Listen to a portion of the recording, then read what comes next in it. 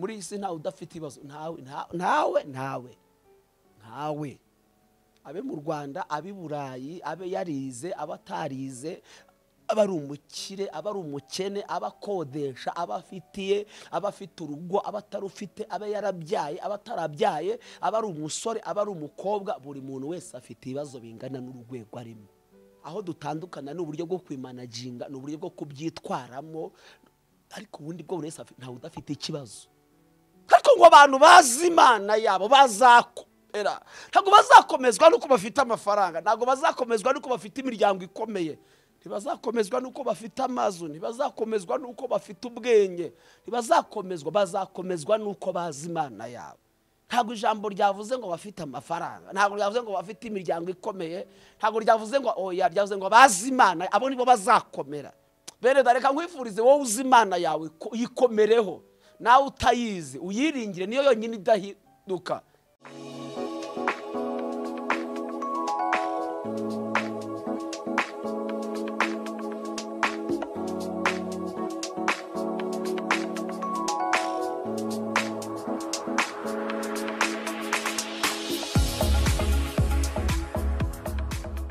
ndabashuje mu izina rya yesu imana ibaho umugisha reka dushimire imana kandi duhaye umwanya mwiza wo kuganira ijambo ryayo.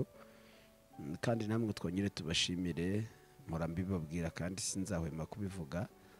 Ni umugisha tuba tugize kugira ngo tuze kuvuga ijambo ry'imana. Ariko mudahari ntitwahagarara ahangaha tuza hano kubera ko muhari. Imana ibaho umugisha badukurikirana umunsi ku munsi kandi abafatanya natwe kwamamaza ubutumwa bwiza nimuhabwe umugisha. Tujya tubona abantu bari hanze abari i burundi abo muri kenya mu bihugu bitandukanye. Iby'i burayi tujya tubona abatwandikira batubwira yuko mu by'ukuri ubutumwa tujya dutambutsa hari icyo bukora mu mitima yabo. Hari ah, umumama umwe ah, ejo ni bwo twavuganaga ah, ari burundi yanyandikiye ambwira nyine ko nimero zanjye azibonye ku irere tv yajyaga abona nyine ibyigisho twatuntu abantu bagenda bapositinga ariko ngo akagira ikibazo cy'aho azakura nimero zanjye. Aza kuzibona rero. Arampamagara turavugana twari tunaziranye na mbere ariko hari haciye igihe kinini. Arangije arambwira ati mu by'ukuri nari ndi mu bihe bigoye ah, nta byiringiro mbona ah, mbona isi isa naho iri kundangiriraho. Arambwira ati ariko kuva natangira kubona inyigisho zawe zatumye nsubirana ibyiringiro. Numva nshimye imana numva nejejwe n'ubwo buhamya bw'uwo muvandimwe washubijwemo ibyiringiro n'iby'imana yanyujemo. Niba hari ikintu kinezeza umutima wanjye ni ukumva mvuga ijambo ry'imana ah, nkumva habonetse temuwanyaje nkumva habonetse abambwira ko mu by'ukuri hari icyo binezeza umutima wanjye bikongera kuntera imbaraga zo kurushaho gusenga no gukorera imana.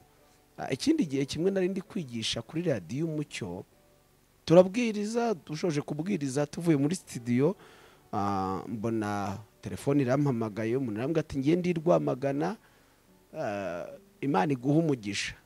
Ati ijambo ryawe rirokoye ubuzima bwanjye. Ati mfite ikibazo kinkomereye. Ati utekereze ko nari mvuye no mu materaniro? Hari ku cyumweru ati ariko ntabwo kujya mu materaniro bya- bya- byatumye mpindura umugambi nari mfite. Ati ariko ngeze mu rugo nari ntangiye gufata gahunda y'uko nari ngiye kwimanika nkiyahura. Ah, ati ariko ijambo ubwirije. Nari mbwirije ijambo rivuga ngo nubwo imana utayibona ariko irahari. Arambwira ati sinzi ukuntu mfunguye radiyo numva hari ijambo ry'imana mbanza kuritega amatwi ariko nditega amatwi nari ngiye kwiyahura ko nabonaga bisa naho byanze. Ati ariko ijambo ryawe ritumye ubuzima bwanjye bwongera kugaruka. Numva nshimye imana ndavuga nubwo yaba ari uriya umwe wenyine ijambo ry'imana rirokoye yaba arahagije. Aya magambo yose nyavugiye iki rero? Nyavugiye gushima imana ijya idushoboza kandi nyavugiye namwe kubashimira mudufasha ah, gu- gu- gusharinga ubutumwa bwiza mukabugeza no ku bandi bose. Imana ibaha umugisha kandi imana ijya ibaha ubushobozi ijya ibaha uburyo ndabizi kugira ngo ubwumve bisaba nyine kutanga ikiguzi n'umwanya. Imana ijya ibahera umugisha. Rero kadushimira imana idushoboza kandi ikomeze idushoboze. Mujye mudusengera ntabwo twebwe twabyishoboza. Niko pahuro yavuze aravuga ngo dushoboye byose na kirisito ugira gute? Uduhe imbaraga. Reka dusenge n'ubundi tuganire ijambo imana yashyize ku mutima. Imana turagushimiye ko uri imana yo kwizerwa uri imana yo kwiringirwa uri imana y'ibihe n'amateka. Uri imana y'amanywa n'ijoro uri imana y'umunsi ibyumweru amezi n'imyaka. Byose biri mu kiganza cyawe. Ndagushimiye ku bw'uyu mwanya mwiza umpaye. Ngaho nshoboza kandi ukora icyo wagambiriye ko unyuze mu ijambo ryawe mu izina rya yesu. Amen. Reka dusome mu gitabo cya daniyeli ibice cumi na kimwe. Umurongo wa mirongo itatu na kabiri. Igitabo cya daniyeli ibice cumi na kimwe umurongo wa mirongo itatu na kabiri. Hari ijambo rivuga ngo abaca mu isezerano azabayobesha kubashyekenga ariko abantu bazi imana yabo bazakomera bakora iby'ubutwari. Ndagira ngo tuganire ijambo rivuga ngo abazi imana yabo. Abazi imana yabo. Abantu bazi imana yabo. Hano hanze hari ibinyembaraga byinshi. Hari ibintu byinshi bifite imbaraga bimwe turabizi bamwe turabifite. Amafaranga ari mu bintu bigira imbaraga. Ubwenge ikinyembaraga gikomeye. Kugira imiryango ikomeye ni ikinyembaraga gikomeye. N'ibindi n'ibindi n'ibindi. Ariko mbibutse ko ibyo bintu bijya bigeraho urufatiro rwabyo rugasenyuka. Urufatiro rw'amafaranga rwasenyuka. Nabonye abantu bigeze bayagira rurasenyuka. Basigara basaba abo bimye cyangwa basigaye basigara bagirirwa neza n'abo bagiriye neza mu gihe bari bafite uburyo. Nabonye abigeze bayabura bagera aho barayabona. Nabonye abantu bigeze bagira urufatiro rw'umuryango rurasenyuka.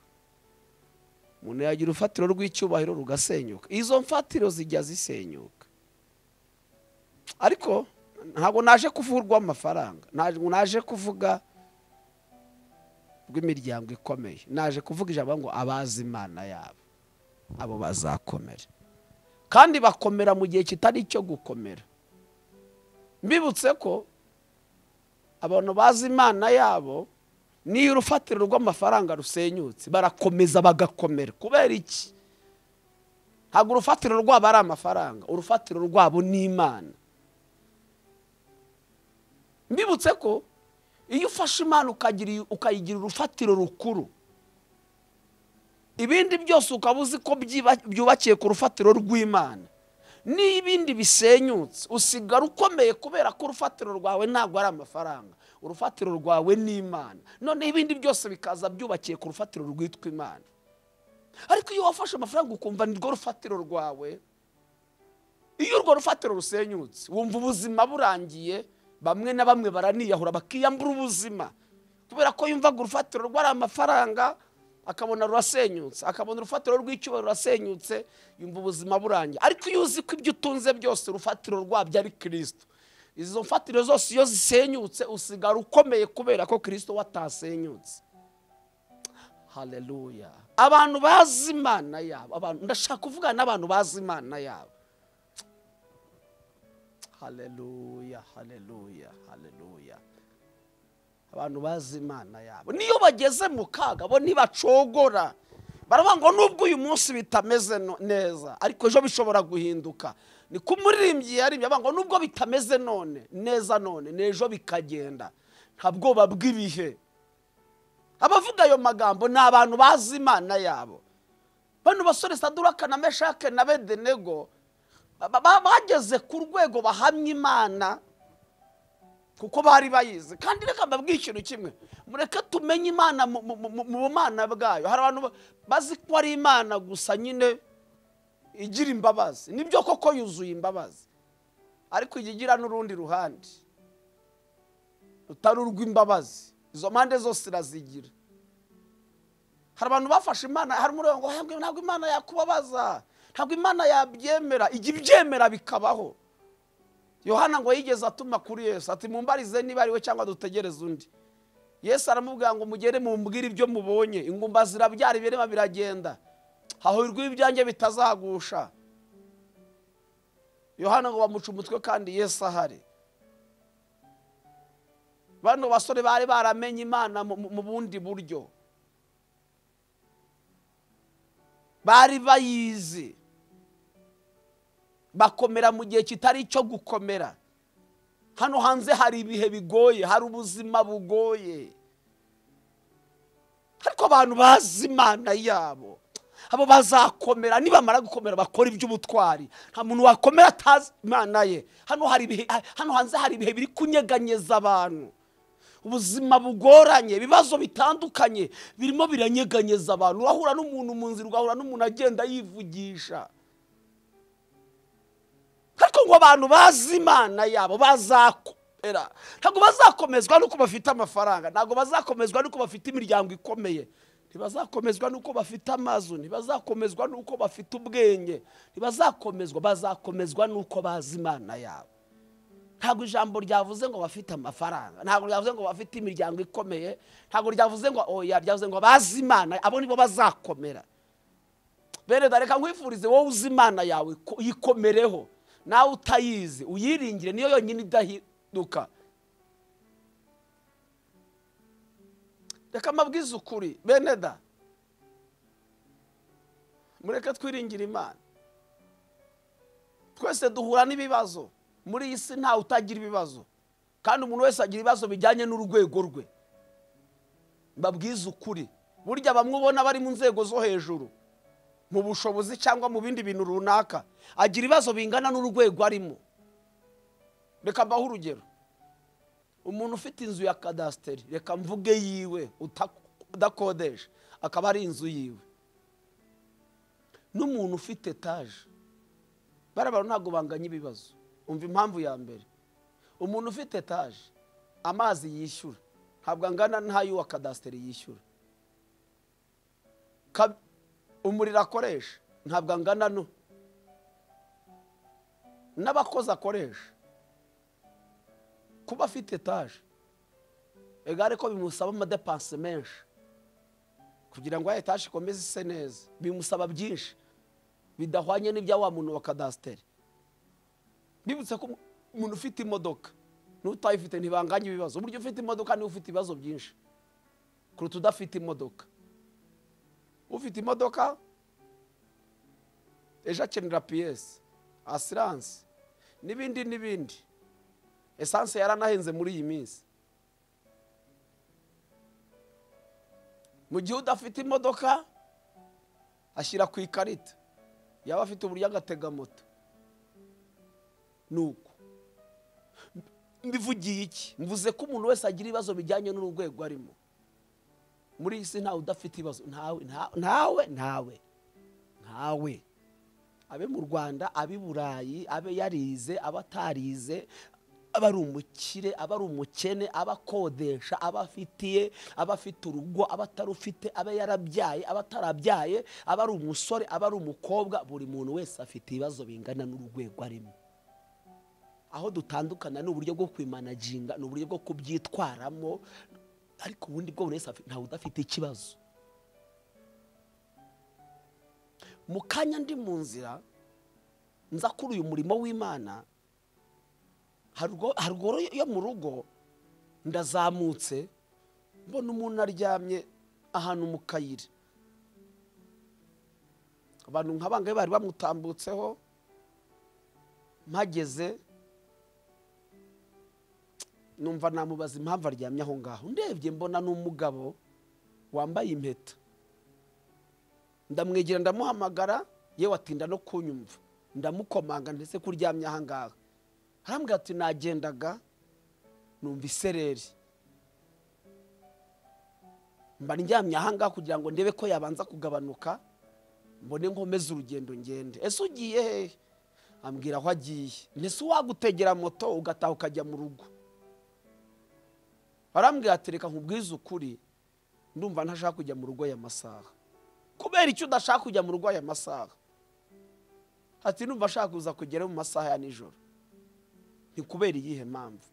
Arambwira ati reka nkubwize ukuri.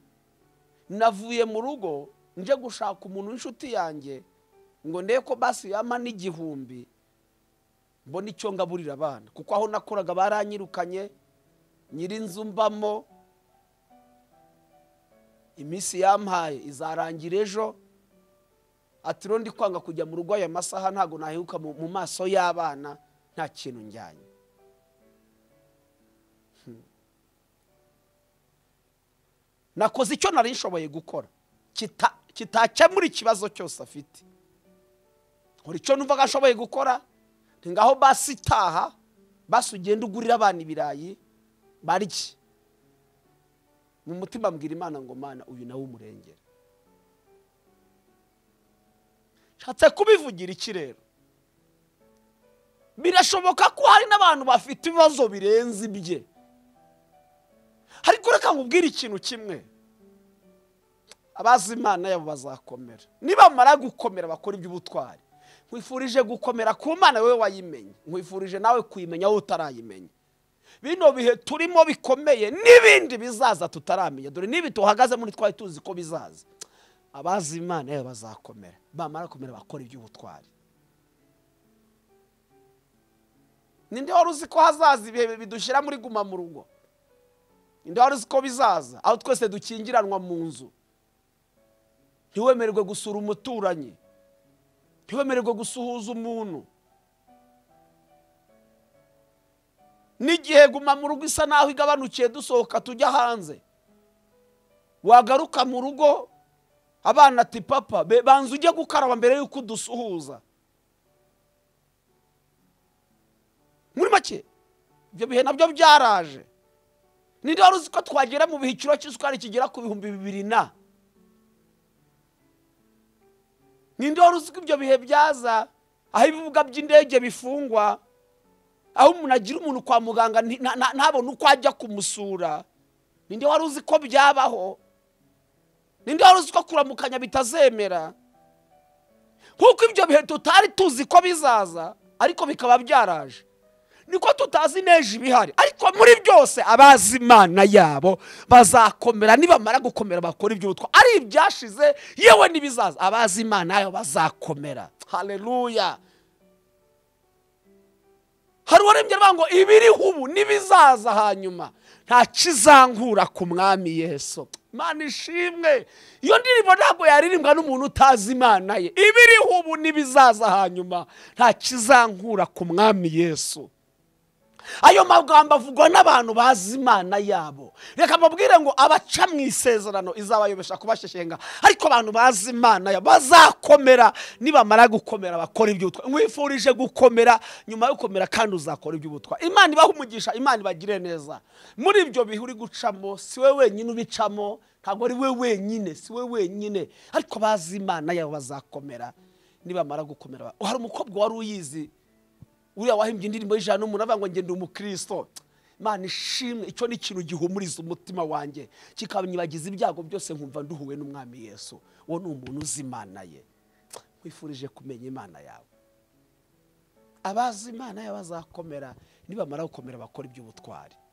Ibihe tugezemo biratambukwamo n'abantu bazi imana yabo. Biranyurwamo n'abantu bazi imana yabo. Imana ibaha umugisha imana ibagirire neza. Reka dusenge dushimire imana. Abazi imana yabo. Abazi imana yabo.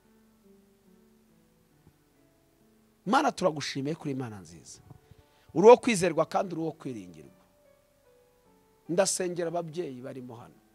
Ndasengera abagabo. Ndasengera abasore n'abakobwa bateze amatwi ijambo reka bakomere mu gihe nk'iki ngiki. Ibiciye intege ni byinshi ibitumye abantu bakuvaho ni byinshi ibitumye abantu bafata imyanzuro igayitse ni byinshi ariko bazi imana yabo. Bazakomera muri ibyo bihe nibamara gukomera bakora iby'ubutwari. Ntawe utabinyuramo. Abakristo babinyuramo abazi imana n'abatayizi. Ariko aho dutandukanira ni abazi imana yabo. Nibo bakomera muri ibyo bihe. Herekeza ijambo ryawe rikora icyo waritumye mu izina rya Yesu kirisito amen.